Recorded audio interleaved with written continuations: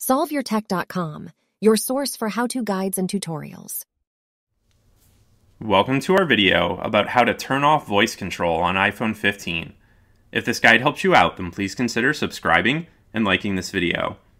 When the voice control feature is enabled on your iPhone, as indicated by this little blue icon next to the time, then you can perform certain actions on the phone by simply using your voice. For example, if I were to say, open notes then that would open the Notes app on the phone so that I could start to type in content into one of my current notes. But you may find that this is problematic as speaking phrases like that around your phone can cause certain apps to open or certain functions to perform. So if you'd like to turn off voice control, then you can do so by opening the Settings app.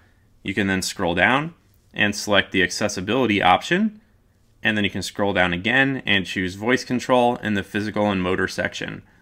Now you just need to tap the button to the right of voice control to turn it off, and then you're no longer going to be able to use the voice control commands that you had been using before to perform certain actions on your device.